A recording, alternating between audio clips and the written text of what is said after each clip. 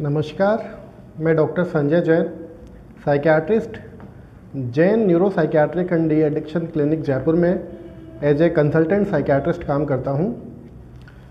आज हम नींद के विषय में बात करेंगे।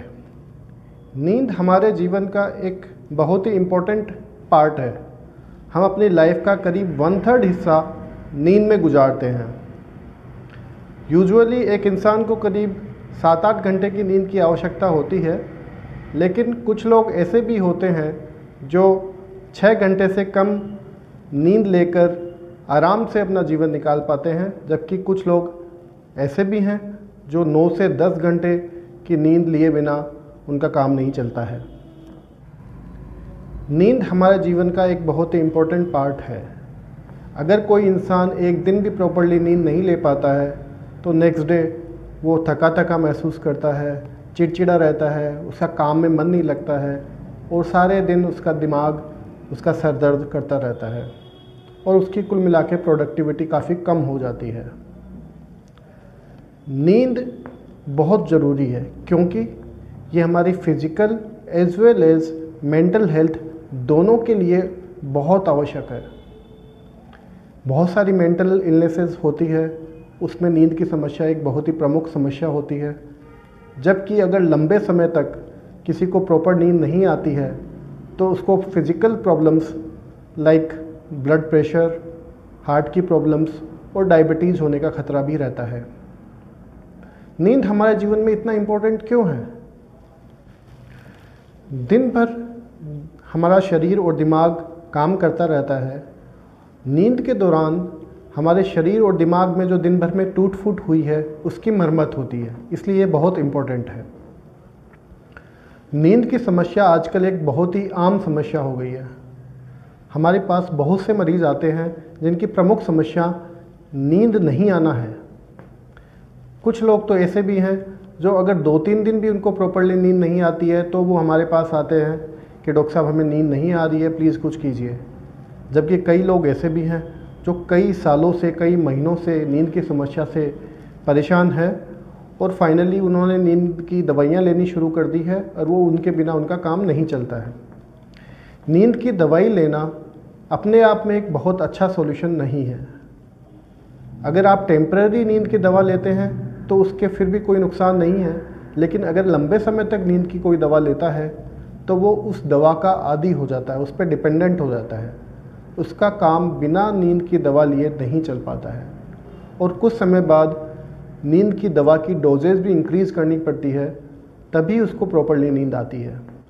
आज मैं आपको कुछ ऐसे टिप्स बताऊँगा, अगर आप उनको रेगुलरली प्रॉपरली फॉलो करें तो आपकी नींद की समस्या का समाधान हो सकता है।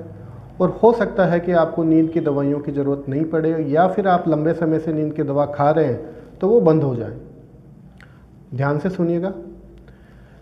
पहला, आप अपने बेड पे तभी जाएँ जब आपको नींद आ रही हो। ऐसा बिल्कुल नहीं करें कि आप बिस्तर पे जाके लेट गए हैं और नींद आने का वेट कर रहे हैं। ये एक बहुत ही कॉमन चीज़ है जो लोग करते हैं। दूसरा, अपने बेड को सिर्फ़ सोने के लिए ही यूज़ में लें। बहुत लोगों की आदत होती है कि वो बेड पे बैठ के ही टीवी देखते हैं, वहाँ पे मोबाइल यूज़ करते रहते हैं, चैटिंग करते हैं। या फिर खाना भी वहीं पे खाते हैं। ऐसा बिल्कुल ना करें। सोने और उठने का समय फिक्स रखें, स्पेशली उठने का समय। अगर आप बिस्तर पे चले जाते हैं, थोड़ी देर बाद में भी अगर आपको लगता है कि आपको नींद नहीं आ रही है तो वहाँ लेटे नहीं रहे। वहाँ से उठें, रूम से बाहर आए और कुछ पढ़ने लग जाए। और जब दोबारा आपको लगे कि आपको नींद आ रही है तभी आप वापस से बेड पे जाए। दिन में सोने की आदत बंद करें। बहुत सारे लोग हैं जो दिन में सोते हैं, वो बिल्कुल बंद करें। कुछ लोग ऐसे भी हैं जो बोलते हैं कि दिन में सोए बिना उनका काम बिल्कुल नहीं चलता है। तो ऐसे लोग कम से कम सोने की कोशिश करें। उसको हम पावर नेप बोलते हैं। अगर आप 10-15 मिनट या ज़्यादा से ज़्यादा आधा घंटा इससे ज़्यादा ना सोए तो आपकी रात की नींद काफ़ी अच्छी हो पाएगी। अगर आप सोने के लिए बेड पर चले गए हैं, उसके बाद आपके मन में काफ़ी विचार चल रहे हैं, कुछ चिंताएँ चल रही है, कुछ प्लानिंग्स चल रही है, कल कैसा होगा उसके बारे में विचार चल रहे हैं तो आप एक काम कीजिए, एक पेपर लीजिए और वो अपने विचारों को आप लाइन से नोट कर लीजिए। सोने से एक घंटा पहले आप अपना टीवी मोबाइल बिल्कुल बंद कर दें। का रूम जहाँ आप सोते हो डार्क रखें कूल रखें कंफर्टेबल रखें और वो बिल्कुल शांत होना चाहिए। शाम को चार बजे बाद आप चाय या कॉफ़ी का सेवन ना करें। डिनर आप बिल्कुल हेवी ना लें। लाइट खाना खाइए और खाना खाने के बाद करीब दो से तीन घंटे तक सोने की कोशिश ना करें। आप जगह रहिए। सोने के लिए स्मोकिंग या अल्कोहल का यूज़ बिल्कुल ना करें।